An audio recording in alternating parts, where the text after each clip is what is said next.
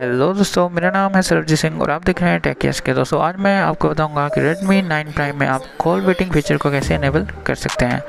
तो चलिए दोस्तों, बिना किसी वीडियो शुरू करते हैं। इसके लिए हमें सबसे पहले यहाँ पर डायलर पर क्लिक कर देना है।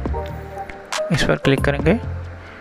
और डायलर पर क्लिक करने के बाद दोस्तों, आपको यहाँ पर सेटिंग्स पर क्लिक कर देना है। या आप ऊपर देख सकते हैं। यहाँ पर हम क्लिक कर देंगे। तो इसके बाद दोस्तों, हमें नीचे आ जाना है और हमें यहाँ पर ऑप्शन दिखाई देगी। यहाँ पर आप देख सकते हैं कॉल वेटिंग यहाँ पर आप देख सकते हैं कॉल वेटिंग की यहाँ पर ऑप्शन दिखाई दे रही है। इस पर हम क्लिक कर देंगे। इस फीचर पर क्लिक करेंगे ऑप्शन पर। तो ये थोड़ा सा लोडिंग लेगा।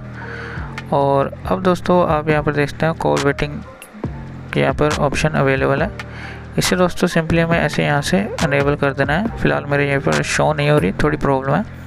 यहाँ से हम इसे अनेबल कर देंगे और ये आपका कॉल वेटिंग फीचर अनेबल हो जाएगा। जैसे आप इसे यहाँ से अनेबल करेंगे।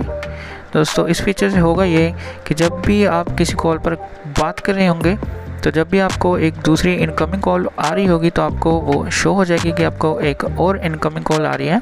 आपको पता चल जाएगा इस फीचर की मदद से।